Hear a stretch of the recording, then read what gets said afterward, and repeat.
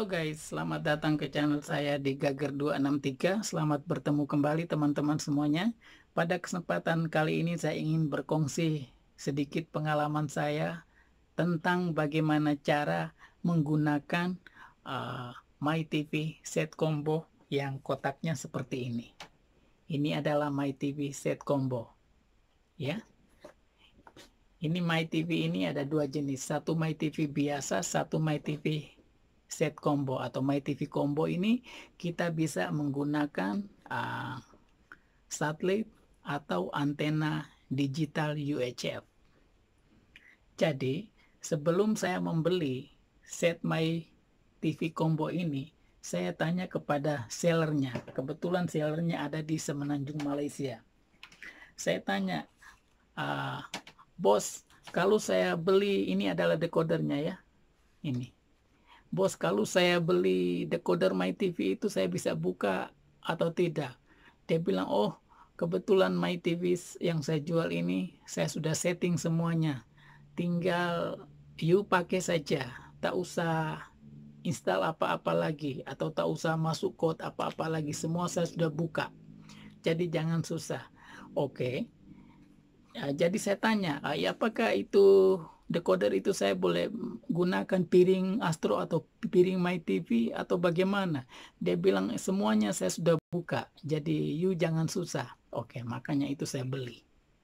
Saya beli decoder ini, ini ini decodernya. Di sini ada dua terminal, yang mana di sebelah sini adalah terminal untuk LNB atau kita akan menggunakan piring My TV atau piring Astro yang di sebelah ini adalah antena digital ya. Kedua yang ini adalah UHI ya untuk pas sambungkan kabel HDMI atau HDMI ke TV ini adalah adapternya ya. Oke sebentar saya akan tunjukkan. Jadi teman-teman kenapa saya ingin berkongsi pengalaman saya ini ke teman-teman? Karena saya percaya di luar sana memang banyak orang sudah tahu cara membukanya karena saya percaya bahwa zaman di era IT ini banyak orang lebih tahu daripada saya. Tapi saya juga percaya bahwa banyak teman-teman belum tahu juga bagaimana cara membukanya. Oke, jadi di sini saya ingin berkongsi pengalaman saya sedikit.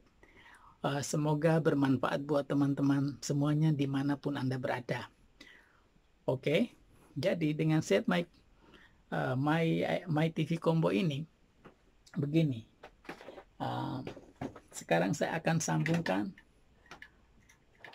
kabel salah satu kabel daripada antena ini. Ini adalah kabel dari antena digital. Saya sambungkannya di sini. Sorry. Saya sambungkan di sini. Oke. okay. Di sini ada kabel HDMI juga saya sambungkan di sini sorry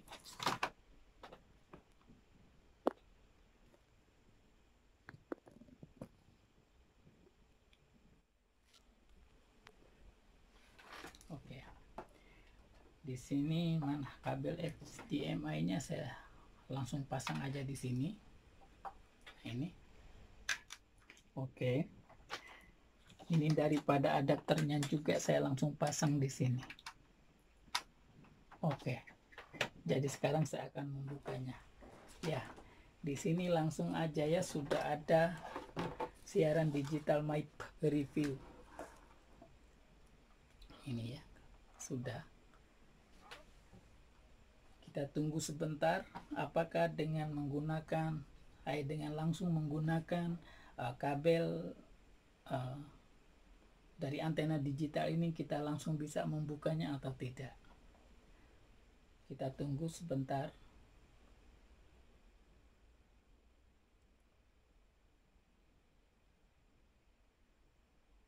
Oke, teman-teman. Ternyata tidak. Tadi muncul tapi cuma sebentar saja. Sekarang saya tekan menu.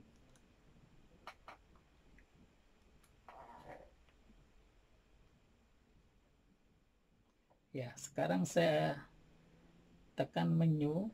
Keluar di sini ialah i 50 minus 32 di bawahnya tertulis no service available. Oke tak apa. Saya langsung tekan menu. Kembali saya tekan menu saya tarik ke pengaturan. Pengaturan di sini jadi bagaimana cara supaya kita bisa membukanya dengan menggunakan antena digital. Nah, contohnya seperti ini. Di antara uh,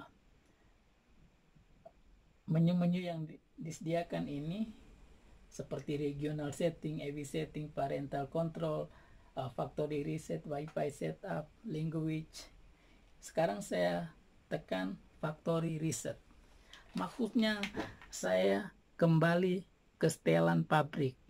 Atau di Malaysia mereka selalu bilang e, saya kembali ke setelan kilang. Ya oke. Okay. sekarang saya tak perlu. Saya kembali. Hmm, saya exit dulu. Saya tekan menu kembali. Saya ke pengaturan di sini saya tarik ke bawah advanced setting sebelahnya saya ke factory setting di sini setting saya akan tekan kode bukanya yaitu 04 kali Oke, okay, this action will erase all your setting. Do you want to process? Saya tekan oke okay saja. Oke, okay, factory is in, in progress. Oke, okay, teman-teman sekarang muncul kembali ialah siaran digital My Review dibawakan oleh My TV Broadcasting. Kita tunggu untuk beberapa detik ya.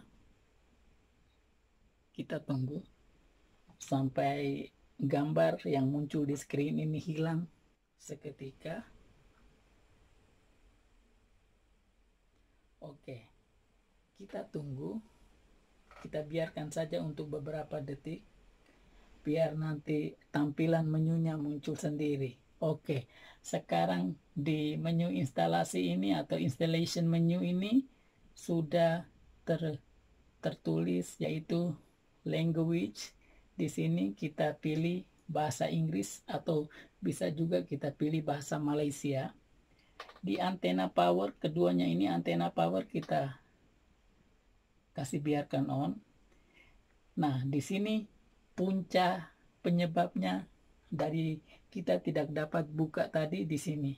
Di sini ada DVB type atau digital video broadcasting type. Di sini uh, tertulis DVB T2. Sedangkan tadi yang saya kalau saya tekan ke arah uh, tekan anak panah ini ke kanan, uh,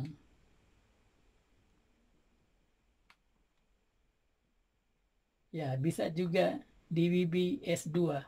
Saya tekan ke kiri, eh, DVB T2 atau Digital Video Broadcasting Terrestrial 2. Oke. Jadi sekarang di sini puncanya tadi yang uh, buat kita tidak dapat membuka dengan menggunakan antena tadi. Jadi di sini kita setting ini dengan menggunakan DVB T2 atau DVB T2 oke sekarang saya kembali exit saya tekan keluar atau exit. Oke masih tertulis I50 minus 32 no service available. Saya langsung tekan eh, di remote control saya tekan menu. Saya ke pengaturan kembali ke pengaturan. Di sini ada sana uh, channel search. Di channel uh, channel search ini ada uh, manual search atau auto search. Uh, tentu saja saya menggunakan auto search pun bisa atau dengan menggunakan manual search juga bisa. Tapi saya pilih dengan menggunakan auto search. Saya tekan OK nah sekarang channel search atau uh, search research sedang bekerja yaitu pencarian channel TV sedang berjalan. Nah, sekarang uh, quality 26%, uh, quality sinyalnya 100%. kita akan tunggu berapa kira-kira berapa channel yang kita dapat di sini. Nah, ternyata di sini sudah 14 TV channel dan 4 channel radio. Oke, sekarang di sini uh, pencariannya sukses, terdapat 14 channel. Coba kita lihat. Nah, sudah berhasil kan teman-teman? Jadi itulah kelemahannya uh, apabila kalau kita tidak dapat uh, seandainya kita punya receiver ini sudah terpasang atau sudah terinstalasi.